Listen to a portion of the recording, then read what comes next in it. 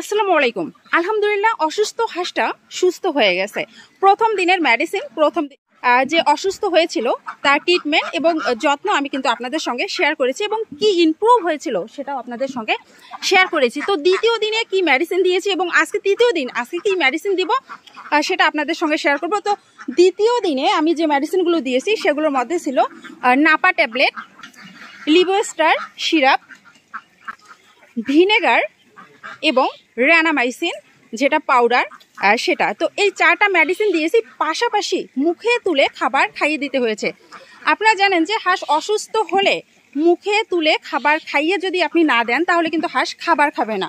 এক্ষেত্রে হাঁস আরও বেশি অসুস্থ হয়ে যাবে, হাঁসের রোগ প্রতিরোধ ক্ষমতা না থাকবে। তো হাঁসের যদি রোগ প্রতিরোধ ক্ষমতা না থাকে তাহলে কিন্তু যে কোনো মেডিসিনে হাঁসের কাজ করবে না। তো এজন্য হাঁসের মেডিসিন খাওয়ানোর পরে যেন রোগ প্রতিরোধ ক্ষমতাটা ঠিক থাকে কিংবা সেই মেডিসিনটা সঠিকভাবে কাজ করে, এজন্য অবশ্যই হাঁসকে সুস্থ করার লক্ষ্যে আপনাকে মুখে তুলে খাবার খাইয়ে দিতে হবে যে দুই একদিন অসুস্থ থাকে। তো আমিও কিন্তু মুখে তুলে খাবার প্রথম দিন খাইয়েছি, দ্বিতীয় দিন খাইয়েছি। পাশাপাশি এই ট্রিটমেন্টটা করেছি। এবং আমি দেখছিলাম যে অন্য কোনো সিমটম আছে কিনা কিংবা অন্য রোগের লক্ষণ কিনা। তো আলহামদুলিল্লাহ অন্য কোনো রোগের লক্ষণ ছিল না এবং প্রথম দিন কিন্তু হাঁটতেই পারছিল না। কালকেও হাঁটতে পারছিল না। তো আলহামদুলিল্লাহ আজকে হাঁসটা হাঁটতে পারছে। একটু শারীরিকভাবে অসুস্থ আছে, কারণ মুখে তুলে যেহেতু আমি দুই একবার খাবার খাইয়ে দিয়েছি আর যে সুস্থ হাঁসগুলো আনলিমিটেড খাবার দেয়া থাকে সারাদিন, ওরা কিন্তু খায়, পানি খায়, খাবার খায়। তো আমি কিন্তু মুখে তুলে যতটুকু খাবার দিয়েছি কিংবা দুই একবেলা যে খাবার দিয়েছি সেতটুকুতেই আছে আর শারীরিকভাবে তো হাঁসটা অসুস্থ। তো আলহামদুলিল্লাহ হাঁসটা সুস্থ হয়ে গেছে। তো হাঁসের খামারে আমরা কিন্তু শতাধিক হাঁস পালন করে থাকি। কেউ এক হাজার, দুই হাজার, চার হাজার, পাঁচ হাজার, যে যেভাবে পালন করে থাকি। একটা, দুইটা হাঁস প্রথমে যখন অসুস্থ হয়, আমরা আসলে সেই হাঁসটাকে গুরুত্ব দেই না। সেই অসুস্থতাকে গুরুত্ব দেই না। তো এই একটা হাঁস কেন অসুস্থ হলো কিংবা এই একটা হাঁসকে আমরা যদি সুস্থ করার লক্ষ্যে কাজ করতে পারি, তাহলে দেখা যাবে যে খামারের অন্যান্য হাঁসগুলো কিন্তু সুস্থ থাকবে কিংবা অন্যান্য হাঁস অসুস্থ হওয়ার পসিবিলিটি অনেকটাই কমে যাবে। তাই দুই একটা হাঁস যখন অসুস্থ হবে, আপনি দেখতে চেষ্টা করবেন কিংবা জানার চেষ্টা করবেন যে কেন অসুস্থ হলো, অন্য রোগের লক্ষণ আছে কিনা, কিংবা পুরো খামারটা আপনার সুরক্ষিত আছে কিনা। আর সেই অসুস্থ হাঁসকে আপনি যে ট্রিটমেন্ট দিবেন পুরো খামারে সেই ট্রিটমেন্ট দেওয়ার ব্যবস্থা রাখবেন। কারণ একটা হাঁস যখন কোনো রোগে আক্রান্ত হয়, অন্য হাঁসগুলোর মধ্যেও সেই রোগ ছড়িয়ে যায়, কিংবা অন্য রোগের অন্য হাঁসের মধ্যেও সেই রোগের সম্ভাবনা থাকে।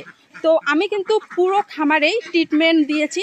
পাশাপাশি সেই হাঁসটাকে বিশেষভাবে আমি ট্রিটমেন্ট করার ব্যবস্থা করেছি। আলহামদুলিল্লাহ সেই হাঁস সুস্থ আছে। পাশাপাশি খামারের অন্য হাঁসও সুস্থ আছে। তো সকালবেলা খামারে এসেই কিন্তু যেখানে খাবার দেয়া থাকে ভ্যাকসিনটা প্রথমে পরিষ্কার করে এখানে বিছিয়ে দিয়েছি। খাবারের পাত্র, পানির পাত্র আমরা পরিষ্কার করে দিচ্ছি। এবং হাউজে যে পানি ছিল, গতকালকের পানি, সেগুলো কিন্তু অপসারণ করে পুনরায় হাউসটা পরিষ্কার করে আবার আমরা পানি দিব।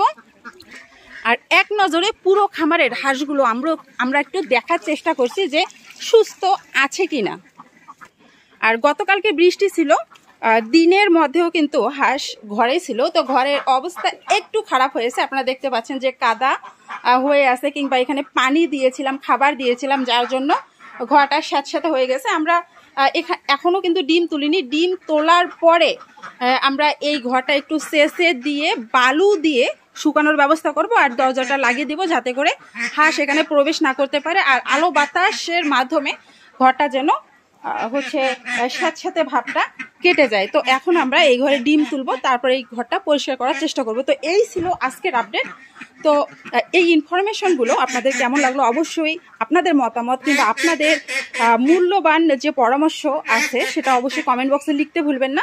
যারা এখন আমাদের চ্যানেলটি সাবস্ক্রাইব করেনি নিত্য নতুন খামার বিষয়ক ভিডিও তো অবশ্যই আমাদের সঙ্গেই থাকবেন সাবস্ক্রাইব করে। অসংখ্য ধন্যবাদ সবাইকে।